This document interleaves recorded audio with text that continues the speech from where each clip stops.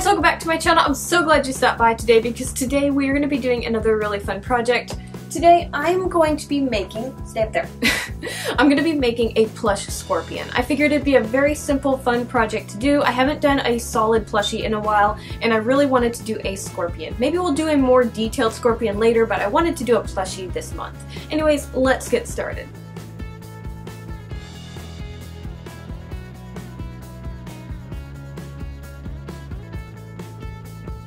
Okay, so this project is going to be pretty simple. There's mainly only sewing, so nothing really fancy about that. It's going to be easiest if you have a sewing machine, of course. But honestly, if you're really good at hand sewing, you can do this project too. You just might have to adjust it here and there to fit your style.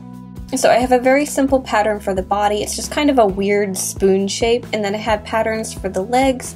And then to make the body not so flat, I have a strip that's going to go along the sides. So I'm going to use my pattern and get all my fabric pieces cut out and then we can start sewing everything. Okay, so these are all the fabric pieces that I'm going to be using to make our scorpion. I have two body pieces, a top and a bottom, strip of fabric that's going to go along the sides, the pieces for all the legs. We need six legs, so we need six left and six right patterns. And then we have two pincers, so we need a top and bottom for that as well. Now before I start putting everything together, I decided that I wanted to mark out the little joints. So I'm going to take my sewing machine and I'm going to go along all these lines. So we're going to do this to all the legs and we're also going to be doing it going down the body. So I'm going to kind of separate the body in sections as well.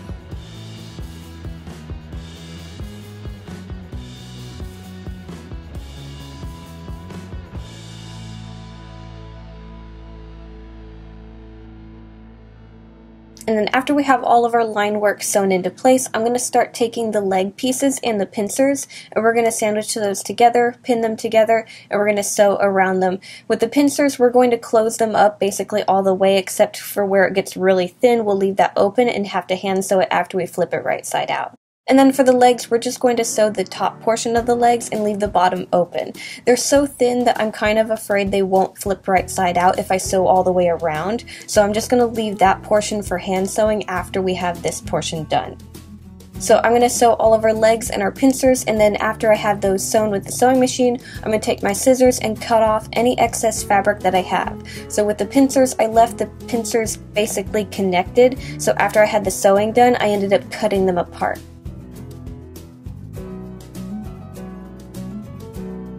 And then after we have any excess fabric cut off, we're going to flip those right side out, stuff them, and start closing everything up. So they're going to look something like this.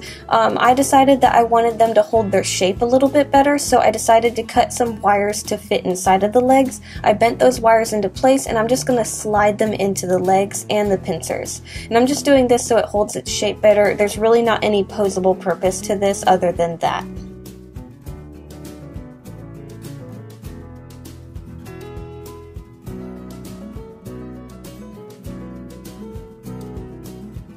Now that we have the legs and stuff done, we're going to move on to the body. So I'm going to take that strip of fabric that we have, I made two pieces of it, and I'm going to sew those together. That way we have a center portion.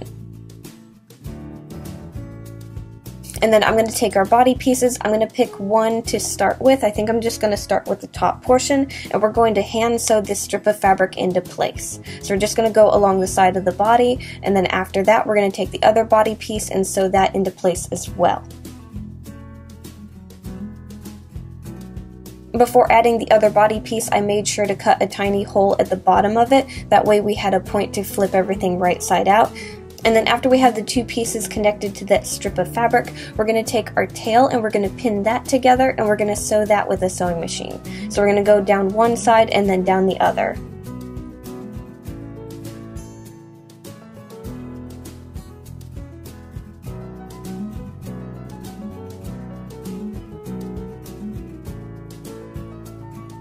We're then going to flip our body right side out. With the tail being so thin, you may need a wooden dowel for this, but once you get everything flipped, we're going to start stuffing it, and then I want the tail to be able to hold itself up as well, so even though I don't want this super superposable, I do want it to hold its shape, so I made a very simple wire frame to kind of go inside the body. It's just kind of like a spoon shape, similar to how we did the pattern, and where I connected the wire where I bent it and twisted it together, I made sure to cover that in like hot glue so there wasn't any sharp points.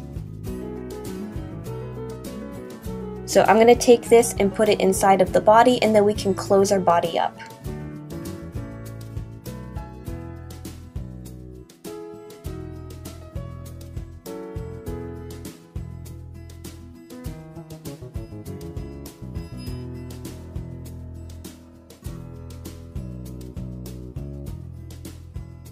Now we need to sew on all of our limbs. So I'm not going to make any holes or anything like that. I'm just going to sew them right into place. So I'm just going to mark out where I want the leg to go and I'm going to take my time and slowly add it to the side of the body. The reason I want to take my time is I want the leg to be positioned correctly. I don't want it to be crooked, and I also want it to be even with the other side of the body. So I want the legs to be all even.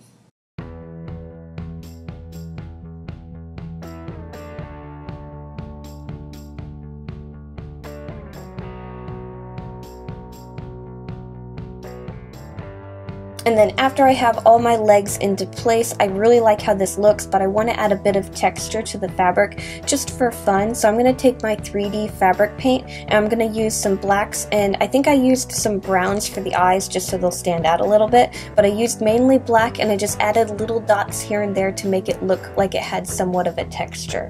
And so it just kind of did this here and there on the body, like the pincers, the legs, around the face portion, and after I liked how it looked, I set it off to dry.